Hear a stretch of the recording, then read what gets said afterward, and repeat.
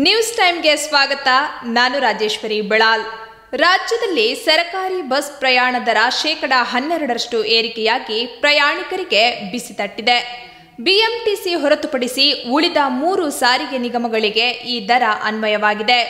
ರಾಜ್ಯ ರಸ್ತೆ ಸಾರಿಗೆ ಬಸ್ ಪ್ರಯಾಣ ದರ ಏರಿಕೆ ಮಾಡಿ ಸರ್ಕಾರ ಆದೇಶ ಪ್ರಕಟಿಸಿದ್ದು, ಸರ್ಕಾರಿ ಬಸ್ ಪ್ರಯಾಣ ದರದಲ್ಲಿ ಶೇಕಡ ಹನ್ನೆರಡರಷ್ಟು ಹೆಚ್ಚಳ ಮಾಡಿ ಆದೇಶ ಹೊರಡಿಸಿದೆ. ದರ ಹೆಚ್ಚಳ ಸಂಬಂಧ ಸಲ್ಲಿಕೆಯಾಗಿದ್ದ ಪ್ರಸ್ತಾವನೆ ಪರಿಶೀಲಿಸಿ ಕರ್ನಾಟಕ ರಾಜ್ಯ ರಸ್ತೆ ಸಾರಿಗೆ ನಿಗಮ, ವಾಯುವ್ಯ ಕರ್ನಾಟಕ ರಸ್ತೆ ಸಂಸ್ಥೆ ಮತ್ತು ಈಶಾನ್ಯ ಕರ್ನಾಟಕ ರಸ್ತೆ ಸಾರಿಗೆ ನಿಗಮಗಳ ವ್ಯಾಪ್ತಿಯಲ್ಲಿ ಪ್ರಯಾಣ ದರವನ್ನು ಏರಿಕೆ ಮಾಡಲು ಸರ್ಕಾರ ಅನುಮೋದಿಸಿದೆ. ಬಸ್ ಪ್ರಯಾಣ ದರದ ಹೆಚ್ಚಳದಿಂದ ಮೂರು ಸಾರಿಗೆ ನಿಯಮಗಳಲ್ಲಿನ ರಾಜಹಂಸ, ವೋಲ್ವೋ, ಸ್ಲೀಪರ್ ಕೋಚ್ ಮತ್ತಿತರ ಬಸ್ಗಳ ಪ್ರಯಾಣಿಕರಿಗೆ ದರ ಹೆಚ್ಚಳದ ಬಿಸಿ ಸ್ವಲ್ಪ ಜೋರಾಗಿಯೇ ತಟ್ಟಲಿದೆ.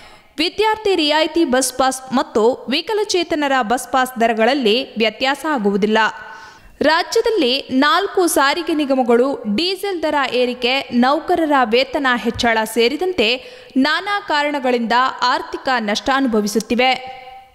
ರಾಜ್ಯದಲ್ಲಿ ಎರಡು ಸಾವಿರದ ಹದಿನಾಲ್ಕರಲ್ಲಿ ಬಸ್ ಪ್ರಯಾಣ ದರ ಹೆಚ್ಚಳವಾಗಿತ್ತು.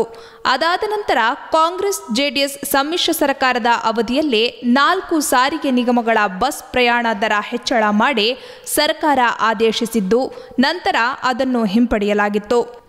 ಈ ಎಲ್ಲ ಕಾರಣಗಳಿಂದ ಸಾರಿಗೆ ಸಂಸ್ಥೆಗಳು ನಷ್ಟದ ಸುಳಿಗೆ ಸಿಲುಕಿದ್ದು, ಇದಕ್ಕಾಗಿ ಬಿಜೆಪಿ ಸರ್ಕಾರ ಅಸ್ತಿತ್ವಕ್ಕೆ ಬಂದ ಬೆನ್ನಲ್ಲೇ ದರ ಹೆಚ್ಚಳದ ಪ್ರಸ್ತಾಪವನ್ನು ಸರ್ಕಾರದ ಮುಂದಿಟ್ಟಿತ್ತು. ಇದೀಗ ಈ ಪ್ರಸ್ತಾಪವನ್ನು ಸರ್ಕಾರ ಕೈಗೆತ್ತಿಕೊಂಡು ಪ್ರಯಾಣ ದರ ಹೆಚ್ಚಿಸಿ ಆದೇಶ ಹೊರಡಿಸಿದೆ.